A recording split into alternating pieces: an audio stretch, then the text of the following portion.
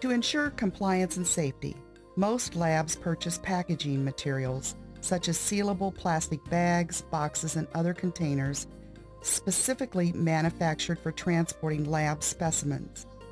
Relying on the manufacturers to ensure that the packaging materials meet regulatory requirements. Any infectious substance can be transported and must be declared a dangerous good.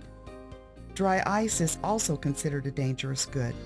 A formaldehyde solution of less than 25% is not a regulated substance. This is what the shipper's declaration looks like. It has red and white hatched bars on each side. It can be handwritten or printed from a computer. You must have two original completed and signed forms. Under no circumstances can it be copied. There must be no misspelled words.